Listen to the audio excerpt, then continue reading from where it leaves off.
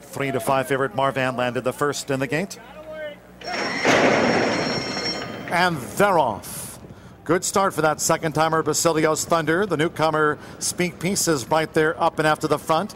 Kel's Dreamer also wants a piece of the action, along with the firster, Mazey Tweeney, racing up the backstretch. Speak Peace to a short lead. Presto by Kel's Dreamer and the three deep Mazey Tweeney as they go to the half mile pole. Pi Bella is racing inside of Basilio's Thunder and Rusty Spinner blinkers on. And Rusty Spinner, the favorites, at the back of the pack through an opening quarter in 23 seconds flat going into the far turn.